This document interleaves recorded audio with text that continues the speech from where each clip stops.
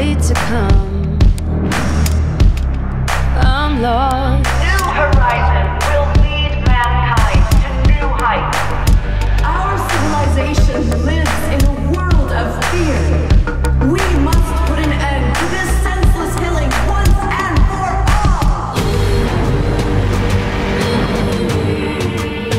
Good job.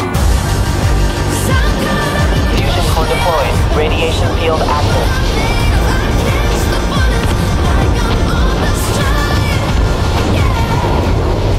Believed in your vision.